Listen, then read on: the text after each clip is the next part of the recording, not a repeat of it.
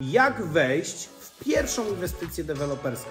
Zacznij od małego projektu. Nie łap się na wielkie projekty i nie miej wielkich oczu w zakresie zysków, jakie można osiągnąć z wielkich przedsięwzięć deweloperskich. Dlaczego?